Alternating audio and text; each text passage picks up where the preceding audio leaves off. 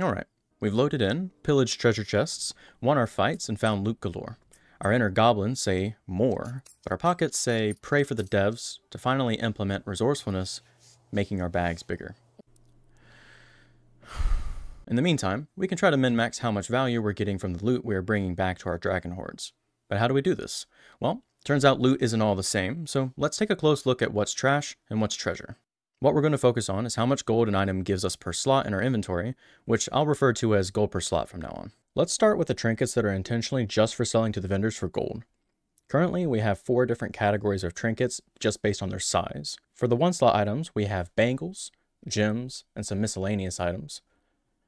These items are for most of your situations going to be the most desirable things to loot from the dungeon as they give the best gold per slot out of all of the items.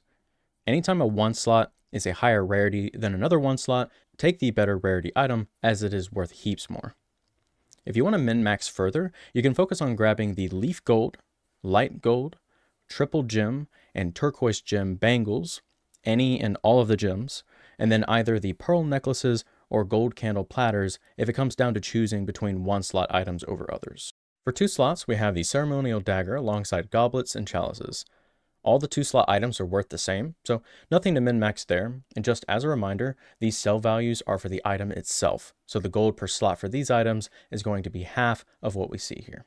So if you have an option of looting two one slot items or one two slot item, it will always be better to loot two one slot items instead. For four slots, we have the various gold items, and we can see that as the inventory space they take up increases, the total value of these items aren't scaling up with them, so it's going to be the same focus of accruing as many one slot items as we can. And finally, for the only six slot item, we have the Ancient Scroll. It sells for an okay amount of gold, but just drop this item the moment you find literally anything else and need this space. I'm sure most people are aware but the different versions of candy that are used for the holiday NPCs are always worth taking as they can range from 15 to 25 gold each and can stack up to 10 gold per slot, so just always take it. Something that a lot of people don't seem to know is that the oil lanterns actually sell for 26 gold each, making them have a value of 13 gold per slot, which is amazing and beats out all of the one slot items until they're at least a green rarity or higher. So keep an eye out for them.